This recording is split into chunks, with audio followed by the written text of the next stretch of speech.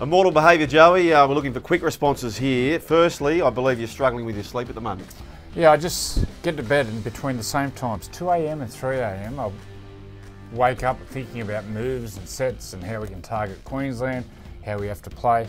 If I get up, I write it down. Once I've written it down, I know it's there, I can go back to sleep. But now I can understand why coaches. they go a bit mad. Yeah. Let's go mad here. Rapid fire stuff here. Brad Fittler will coach the Blues for how many years? Five years. Okay, uh, the Blues will win by how many in Origin 3? 10. Ben Hunt, did he deserve the axing or was he a scapegoat? Scapegoat. Okay, DC in Origin 3, will he succeed or will he fail? Well, he won't win, so he'll fail. He'll fail, okay. Who's the bigger loss for Queensland? Is it Inglis or is it Ponga? Uh, Inglis. Okay, Inglis, okay. The top eight teams, are they locked and loaded? Not yet. I think the Raiders may, tiny, may make a run. Sneaky chance. Okay, then, righto. True or false? In 2018, to win the Premiership, you must finish top four. Yeah, true. True, okay. Yes or no, the Rabbitohs make the grand final? Yes.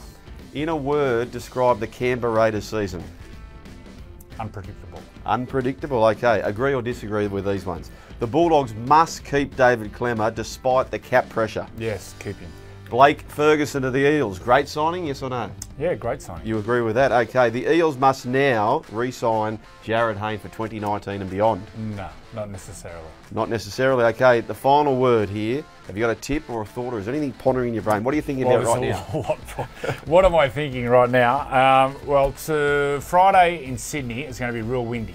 So at Penrith, there'll be no dew on the ground. Both these teams like to throw the ball around. The Warriors, I think, will score 30 points. So back over the points Friday night. There you go. That's the immortal behaviour, sharp stuff. We'll catch you next time.